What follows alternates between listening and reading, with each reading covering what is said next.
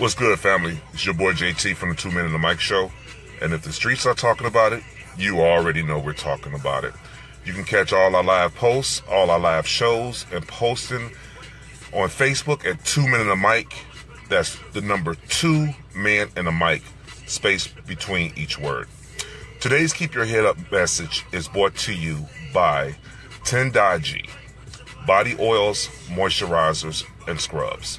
They say no to lotion and yes to oil. Fellas, you want that flawless, luxurious, thick, rich looking beard.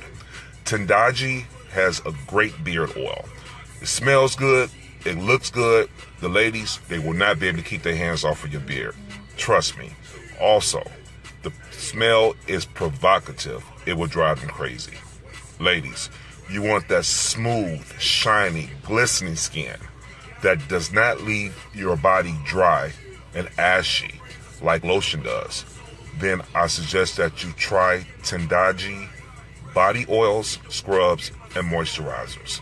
Made with love, each bottle is hand packed and is specific to your skin needs. You can find all of their products at www.facebook.com Tendaji Body Oils. T E N D A J I Body Oils. One word. Also, email them. Tendaji with love at gmail.com. So, today's Keep Your Head Up message. Don't live life, experience life.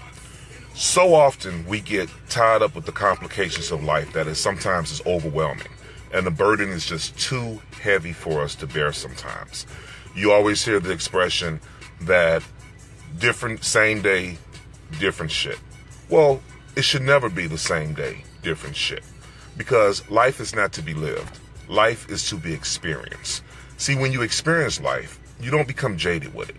You don't let the complications of what's going on at the White House or what's going on with the social issues that we have to deal with, you don't let them become a burden that's too much for you to bear. Because let's just face it, this isn't our life to live. And if you think it is your life to live, try living forever without dying. Life is to be experienced. Experience the ups, the downs, the good, the bad, the joys, the happiness. Experience life. Don't live life. Because when you experience life, you don't take it personal. You realize that life is pretty much a game to be played. And by now, a lot of us should know how to play the game. But when you try to live it, it, it it's a burden. It's like a rock that's just a, a mountain that's just on your back that you just can't lift off. You get so entrenched with your bills. You get so entrenched with things that don't go right, whether it's your children, whether it's your job, whether it's illnesses in the family, illnesses with yourself. And it's overwhelming sometimes. And a lot of times, a lot of us can't handle it. So let's experience it. Let's let's brush it off our shoulder.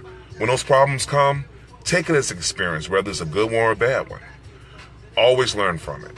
I used to always say, if I learn from it, how can it be a mistake? Let's experience life and realize that there is joy to this world. There is joy to life because you experience it. You taking it day by day. You know how they say one day at a time? Well, that's what life is.